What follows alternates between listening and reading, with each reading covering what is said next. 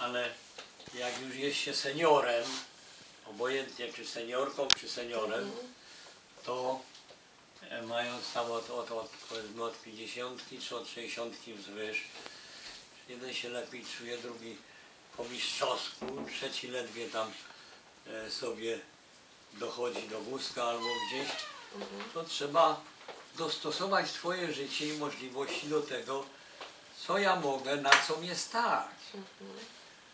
Na co mnie stać? Mówię o tych ciasteczkach, to też wszystko w miarę, wszystko na tyle, ile mogę, ile mogę znieść, ile mogę przetrawić. Nie napinać się, bo przy napięciach, nie napinać się w sensie głowy, ciała, e, bo no, są wiadomo stresowe, nerwowe i napinać się każdy będzie i napina się. Mówiąc nie napinać się, mam na myśli unikać, uczyć się nie napinać, albo napinać jak najmniej. Jest kakao, jestem E, Wera poszła po kakałko, ale jest już kawka. I dlatego, że napięcia wprowadzają bóle Tak. czasem. Wprowadzają tym, że człowiek jest wolny. A jak jest wolny, to ma kłopoty czasami. Czasami trzeba być wolnym, ale e, w sporcie na przykład sportowcom ogranicza szybkość, dynamikę.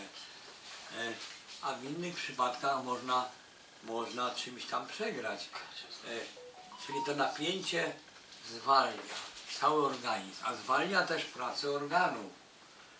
Organów, które akurat powinny na innych obrotach pracować. I to jest duży problem z tymi napięciami, które są dzisiaj w zasadzie, gdzie byśmy nie pomyśleli, gdzie byśmy nie spojrzeli, e, nagminne. Tak, taki Bo nie ma, jest. e, to nawet najlepsi się napinają, mistrzowie się napinają, widać to na olimpiadach, na mistrzostwach świata. Wczoraj oglądałem akurat mistrzostwa świata.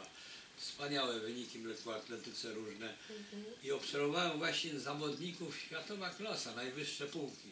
Obojętne, czy to w biegach, jak niektórzy nie potrafili się rozluźnić i przegrywali o ułamek sekundy, ktoś się przewrócił prowadząc dwa metry przed metą. To jest tragedia.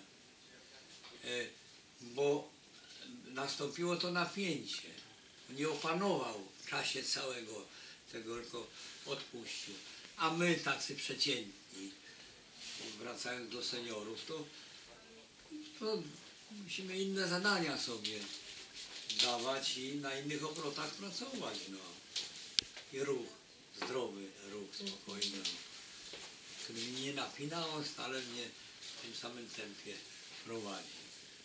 No to jeszcze głowę naciśniemy, o, żeby zapracowała i na tyle dzisiaj mamy.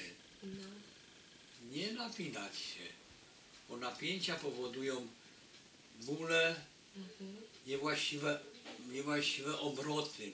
Organizm pracuje na niewłaściwych obrotach i to w każdej życiowej sytuacji, co może nam akurat zaszkodzić.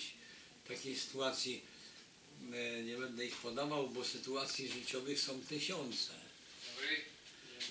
No.